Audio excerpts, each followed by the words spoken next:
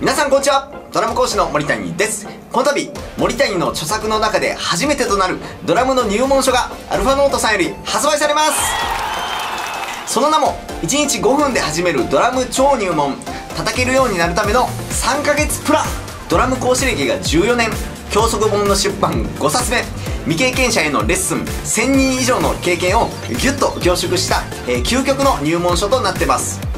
このスティックも触ったことない。ドラム経験完全ゼロから叩けるようになるための、えー、3ヶ月の道しるべを書いた本となっております。この本はオールカラーとなっておりまして、え、1日5分ほどでできる習いを絞った練習メニューが1日目から90日目まで、え、掲載されておりまして、え、全ページ対応のレッスン動画がついております。本書と動画を合わせて、えー、活用していただくことにより、えー、初めてドラムにトライする方や、えー、練習時間が限られてる方でも、え自分のペースで、え練習を進めることができるので、え確実にステップアップできます。合わせてスティックの持ち方。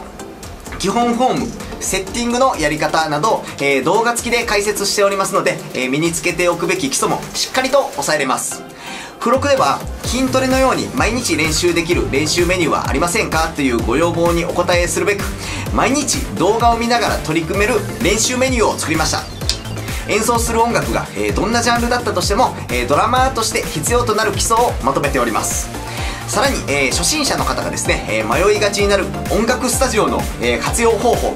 ドラム用語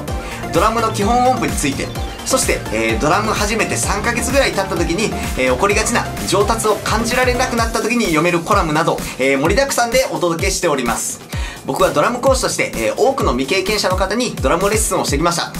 未経験者の方にもこのイメージしやすい言葉で、え内容が簡単に理解できるように工夫しましたので安心して学ぶことができます。1日5分で始めるドラム超入門叩けるようになるための3ヶ月プラン。忙しい日常においてもドラムを始めたいと思っている方には、えー、ぜひおすすめの初心者向けドラム教則本です。ぜひご活用ください。